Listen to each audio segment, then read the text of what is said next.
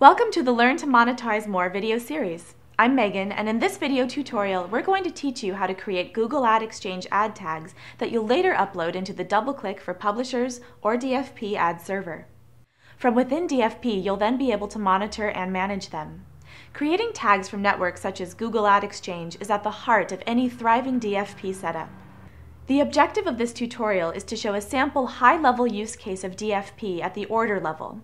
This is the second in our series of DFP videos that will help you turn into a DFP expert in no time.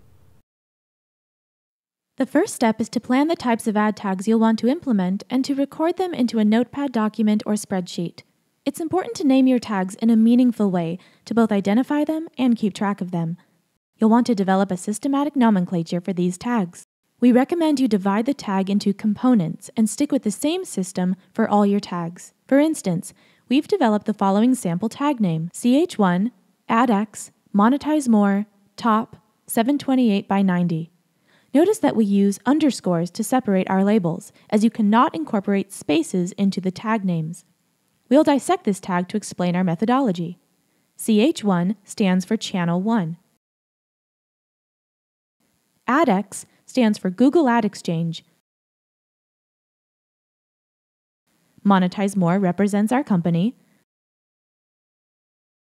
Top represents top of the page. And finally, 728 by 90 represents our ad size.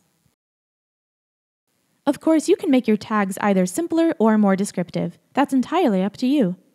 Most important is that once you've created a system, you stick with it. Such a system will make organization and identification much easier.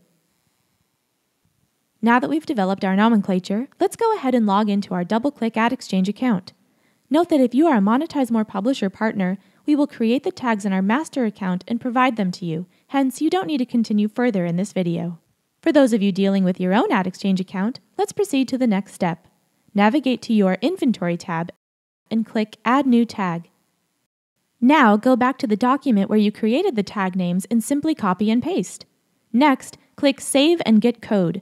You'll want to store this code into a text file so that it can be easily copied and pasted later. Simply repeat until you're finished.